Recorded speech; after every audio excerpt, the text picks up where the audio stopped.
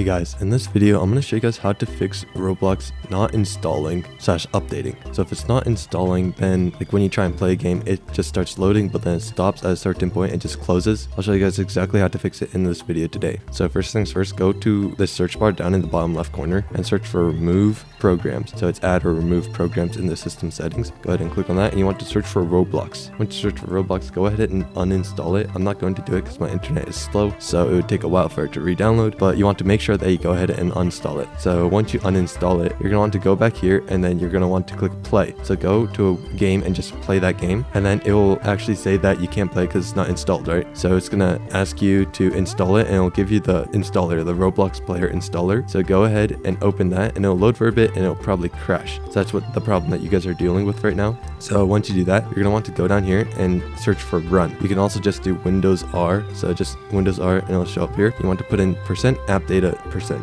So once you do that, you're going to want to click OK and it'll bring to this page right here. On this page, you're going to want to go back to app data. So you're in roam app data roaming right now. You want to go back to app data and then you want to go to local. Now once you're in local, scroll down until you find Roblox. And once you find Roblox, you're going to want to click on it. On here, you're going to want to go ahead and find versions as you can see right here and click on it. Once you're in this page right here, you want to look for the latest version. So the latest date modified. As you can see, this is the 1212, but this is 1213, so that means this is newer. So go ahead and find the newest version. You can delete all the old versions too, it doesn't really matter, but go ahead and open the newest version. And from here, you're going to want to go ahead and look for Roblox Player Launcher.exe as you can see right here. So once you find it, you're going to want to click on it and that will actually launch the game and completely install it and fix your problem. So don't click on installer because that will just make it re-crash again. Make sure you click on Roblox Player Launcher. So go ahead and try that out. So I hope this video was helpful. If it was, I'd really appreciate a like and subscribe. Leave any questions you have in the comment section below. I'll do my best to answer them and I'll see you guys next time.